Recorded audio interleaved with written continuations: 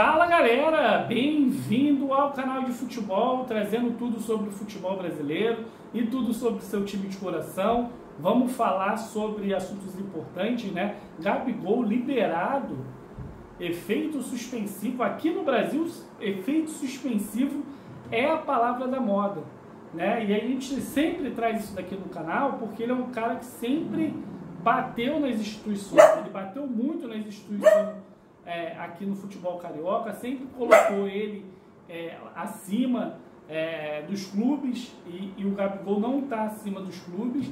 E a gente fica se perguntando: efeito suspensivo é para todos? Por quê? O Flamengo vem mal agora, Gabigol é liberado. Então é, é coisas que a gente fica na nossa cabeça que jamais a gente vai entender a justiça. Para terminar, amanhã, Sampaio Correio Fluminense, uma super cobertura aqui do canal de futebol. Então, peça a sua inscrição, peça o seu like, porque aqui assim saiu notícia, corre e informa para vocês. Lembrando, né, o jogo é importante, né, o, o Sampaio Correia está na Série C, tá mal, então para o Fernando Diniz ganhar um ânimo, né, quem sabe uma goleada, né, um futebol bonito, aquele futebol envolvente. Então é um jogo para recuperar esse sentimento do torcedor do Fluminense.